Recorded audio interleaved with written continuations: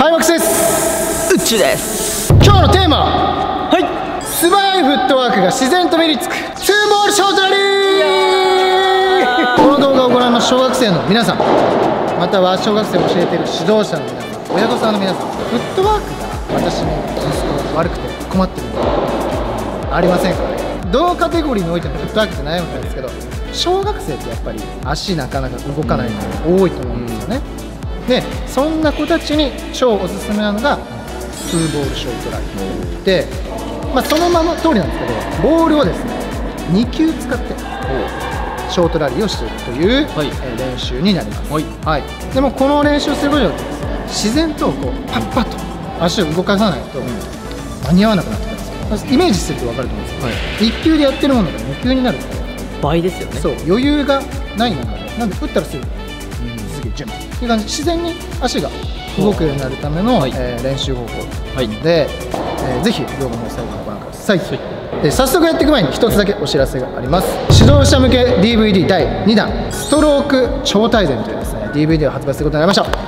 素晴らしい。ありがとうございます。ありがとうございます。でこのストローク超大全なんですがその名前の通りですね。ストロークをマスターするための練習方法ですね。グリップだったりフォームだったり打ち方トレーニング 体の使い方もう全部一つの DVD でまとめ上げました僕とチームコーチが。大変だったんですよ、ね、いやい。っぱいありましたもんね。いっぱいあって120分にまとめさせていただきました。もうね指導者の皆さんが悩むであろうことを全部網羅したつもりですのでストロークって絶対打つ技術ですから気になる方は番組下概要欄チェックしてみてください。それでは早速やっていきましょう。どうぞ。はい。それではですね2ボールショートラリーをやっていきたいと思います。ボール2球用意してくださいで、えー本当に2球使ってショートボールをやるっていう感じなのでちょっとまずやってるとこご覧ください。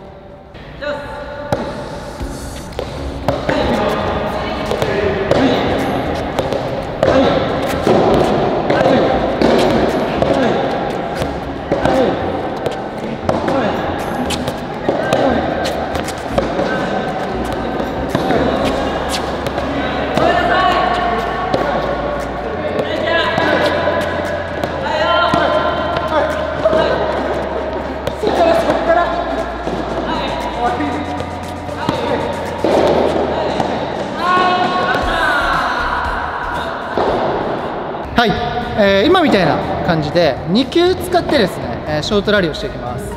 で見てもらったら分かるんですけど、まあ、1球でやってるのと違ってもう打ったら次のボールがこう打ってこういう感じで常にもうボールが来てる状況なのであの早く構えなさいって言わなくても早く構えざるを得ない。という非常に、いい練習になっています。で注意点なんですけどボールのスピードがこ例えば僕が速く打って内海コーチが遅いってなると来るタイミングがずれるのでラリーとして続かなくなります。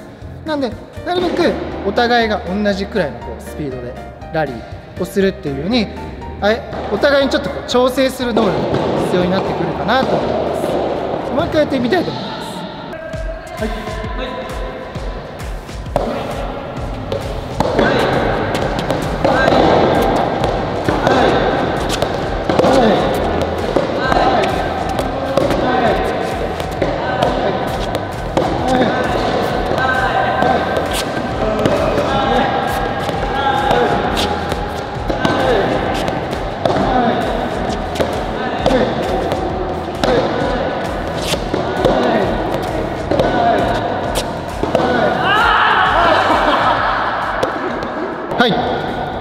じゃあ次はちょっと応用編で今2人ともこうドライブでやってたんですけど球種をちょっと変えてみたいと思います。僕は普通に順回転、えー相手に返して内海コーチはスライスでひたすら返すという。ちょっと球種を変えるとまた難易度が変わってくると思うのででスライスの方が基本的に打球が遅くなるんですけどその辺の調整なんかもできると思います。とにかく足を細かく動かすってことを、えー皆さん意識してみましょう。ちょっとその辺、えーご覧ください。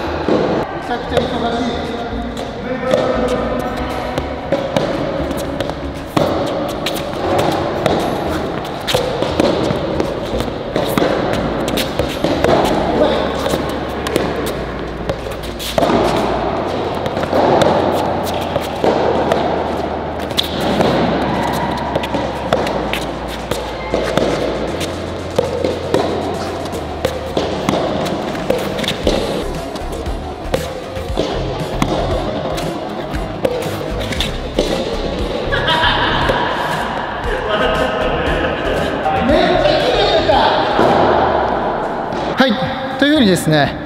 めちゃくちゃ足を動かします。動かせって言われなくても動かします。でちょっと難しい人いると思います。小学生とかだとやっぱ難しいと思います。そういう時におすすめなのがこれ。こちらヨネックスさんのスポンジボール。ヨネックスさんのじゃなくてもいいんですけどスポンジボールがやると難易度がぐっと下がるのでラリーが続きやすくなると思いますのでちょっとやってみたいと思います。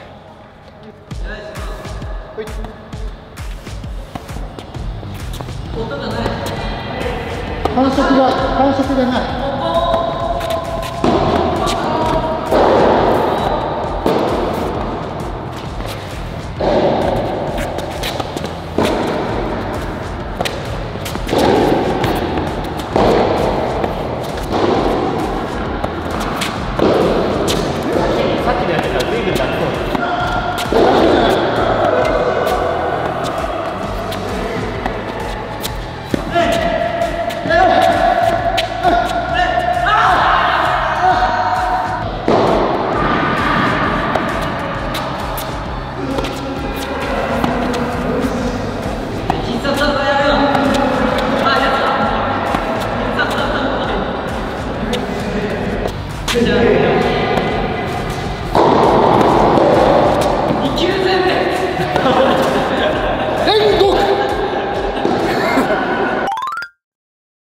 はい、中国ちゃんありがとうございました。ままあ、ツーボールのショートラリー、皆さんいかがでしょうか？結構楽しかったです面白いです。なんか3つとかだったらどうなるのかなと思いましたツははいはい本当なんかもう遊び練習、まあでもやってみるかじゃない何球までできましたみたいな、ね。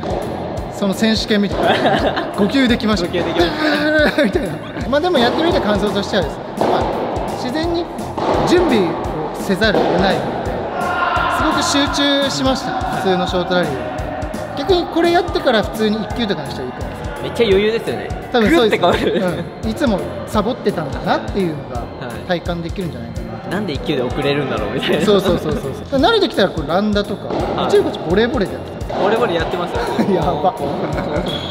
ちょっとなんだろう難易度を少し上げてあげるとか、で全くできないってなったらそれって練習にならない。全くらやっぱスポンジボールにちょっとレベルを下げていってでそもそもまだこの練習早いかもしれないしちょっと続くなっていうレベルの子はチャレンジしてみる価値あるななので本当に始めたての子はさすがに難しいと思う。はい、そのレベルは、あの自分で判別してもらってやっていただければなと思います。はい、えーここまで見てくれた塾生の皆さん最後まで見ていただき本当にありがとうございました。ありがとうございましチャンネル登録といいねボタンします。またこんなテーマでやってほしいというリクエストがありましたらコメント欄の方にぜひよろしくお願いします。それでは今日の動画はこれで終わっていきましょう。たバイ。バイバイ